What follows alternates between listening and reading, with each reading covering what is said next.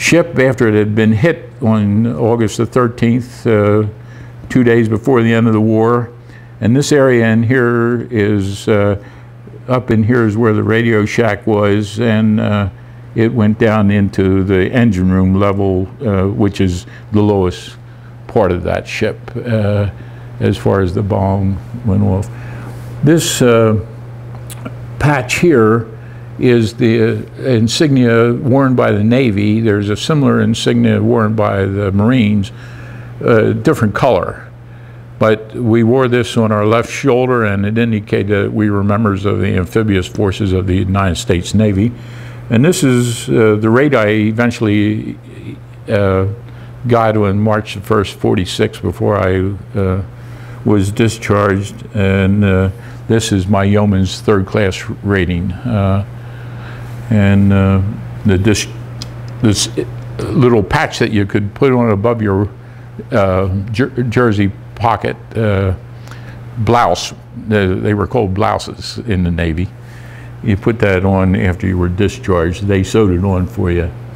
And of course, this is a picture was just taken recently, uh, about a year or two ago, uh, with a, at Christmas time with a gift that my daughter had given me of this book, of the Navy, uh, Navy ships and so forth. So that's where I am. This is uh, what I look like uh, in, uh, in boot camp. So. Uh, that's the story of this little display that we made up to sort of give an idea of what the naval career was all about.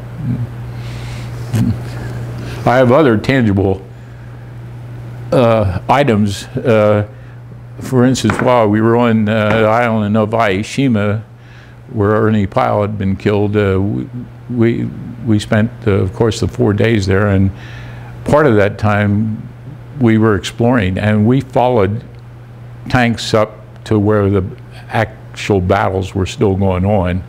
And I was came across a dead Jap officer, uh, and we weren't politically correct. Uh, we used the perhaps the derogatory name now, Jap, uh, but that was common uh, in those days. Uh, it was a Japanese officer, and I took off him uh, an ammunition case that he had on his belt and some insignia, which I have here today. The, the, ammunition case with the ammunition I uh, sold, gave to someone or sold to someone somewhere along the line.